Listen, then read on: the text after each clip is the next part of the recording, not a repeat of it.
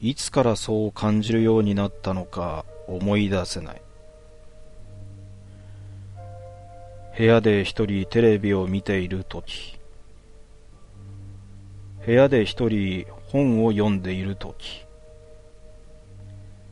部屋で一人パソコンでインターネットをしている時部屋に自分一人だけなはずなのに後ろに人の気配を感じる。風呂でくつろいでるとき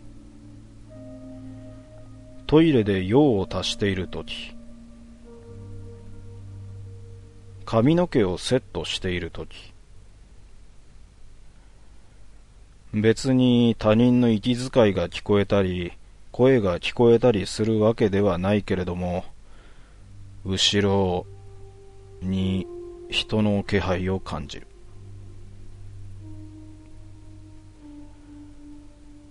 本棚とタンスの隙間。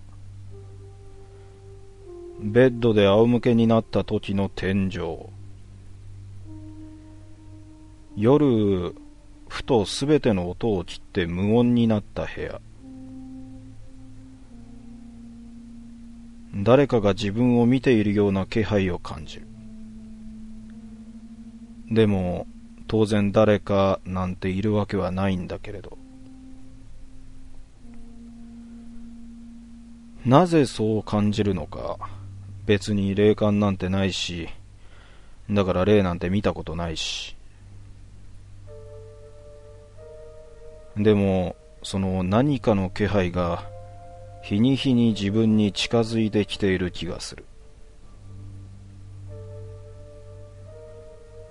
前はこんなに近くなかったはずなんだ。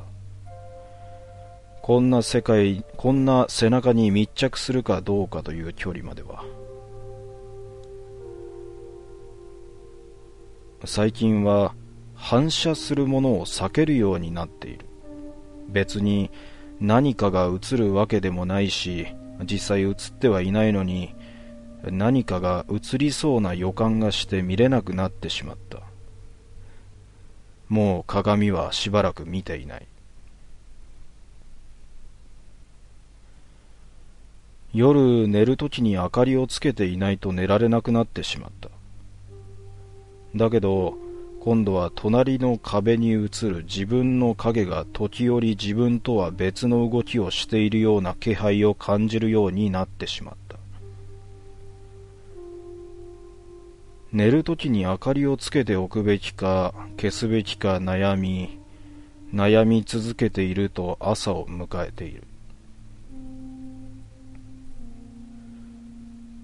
私の周りには何がいるのか。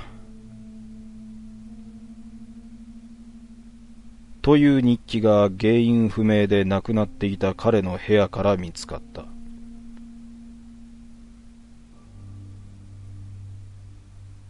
という話を知り合いの警察官から聞いたのだが最近その警察官もやけに背後を気にする仕草が増えた気がする。気のせいかもしれないが。